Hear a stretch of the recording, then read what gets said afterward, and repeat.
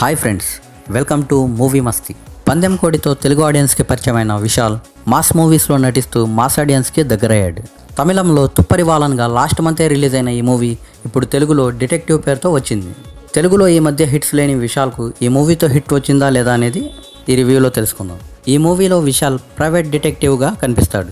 తన దగ్గరికి వచ్చిన వాళ్ళందరూ చిన్న చిన్న ప్రాబ్లమ్స్తోనే వస్తారు. తన దగ్గరకు వచ్చిన ప్రాబ్లమ్స్ అన్ని తనదైన శైలిలో సాల్వ్ చేస్తూ ఉంటాడు. కానీ ఎక్కడో అసంతృప్తి. ఎంతకాలం ఈ చిన్న చిన్న కేసులు హ్యాండిల్ చేయాలి? తన బ్రెయిన్కి తగ్గట్టుగా ఒక మంచి కేసు తగిలితే బాగుండు అని చెప్పి ఎదురు చూస్తూ ఉంటాడు. అలాంటి సమయంలోనే చిన్న పిల్లోడు ఒక కుక్కని తీసుకొస్తాడు. ఈ కుక్కని ఎవరో కాల్చి చంపేశారని చెప్పి చెప్తాడు. దీంతో ఆ కుక్కని ఎవరు చంపారు అనే తెలుసుకునే క్రమంలో చాలా విషయాలు బయటపడతాయి. ఆ కుక్కని ఎవరు చంపారు ఎందుకు చంపారు అన్నదే ఈ మూవీ కథ.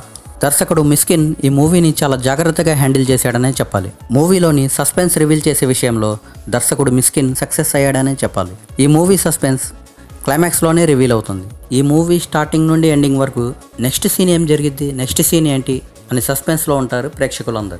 సస్పెన్స్ని క్లైమాక్స్లోనే రివీల్ చేశాడు దర్శకుడు. విశాల్ తనదైన నటనతో ప్రేక్షకుల్ని ఆకట్టుకుంటాడు. ఈ మూవీలో విశాల్ డిటెక్టివ్గా చాలా అద్భుతంగా నటించాడనే చెప్పాలి. ఈ మూవీకి మూవీ మస్తీ ఇస్తున్న rating three out of five. ఈ వీడియో కనుక మీకు నచ్చినట్లయితే లైక్ చేయండి మీ ఫ్రెండ్స్తో షేర్ చేసుకోండి. మరిన్ని మూవీ అప్డేట్స్ కోసం మా ఛానల్ని సబ్స్క్రైబ్ చేయండి.